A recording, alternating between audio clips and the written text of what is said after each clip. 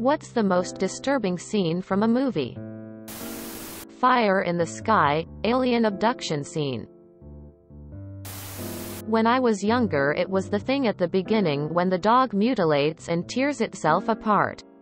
Turning into the alien. Pretty much all the death scenes in that were disturbing with the shape-shifting alien including the man's head running across the floor after growing legs. In Trainspotting, the scene where the baby dies and the mother is hysterical was one of the hardest scenes I've ever made it through in a movie.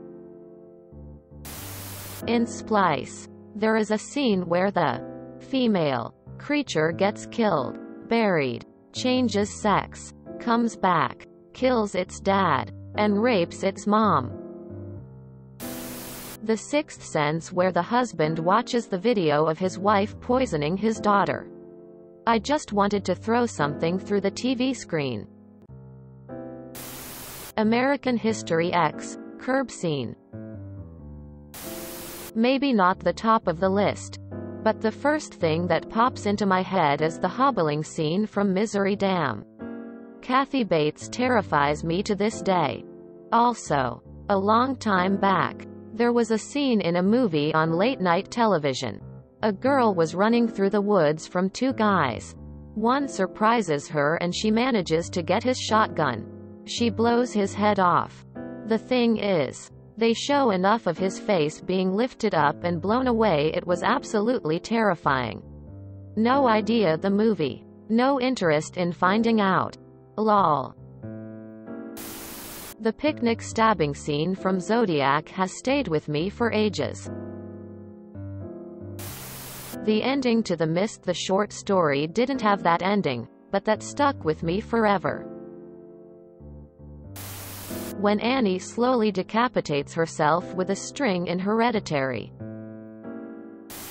When the Irish woman put her kids back to bed in Titanic. The Hills Have Eyes, when the dudes raided the RV, raped that woman, and set the dad on fire. Exclamation mark. Less than. Pink Flamingos, the weird old woman in the playpen. What lies below? Stepdaughter gets her period on a boat and her stepdad touches the blood and licks it from his fingers. Decapitation in Hereditary.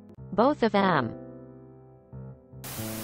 Bone Tomahawk, that scene. Charlie in the car in Hereditary. Denethor eating a tomato. The Strangers when Kristen is in the kitchen, smoking and getting a glass of water. Her back to the living area, hall. You just see the masked man emerge from the shadows and stand there for a few minutes. Watching her. Completely silent and unnoticed. There's no musical sting. Nothing. He's out of focus. In the distance. Nothing really happens. But you just don't know how long that will last. Of course. When the camera finally pulls away for a brief moment and gives Kristen the chance to turn around. He's gone. She never knew he was there at all. That scene made me so paranoid. Zelda in Pet Sematary has haunted my memory for 30 years. Not a movie. But both the rape scene and the suicide scene in The Sopranos. Very unexpected both times. Very visceral. Very upsetting. Was also stoned for the rape scene and did not have a good time. If you enjoyed this video, please check out our playlists full of similar content. Epicaricast is like doom scrolling for your ears. Please like, share, and subscribe.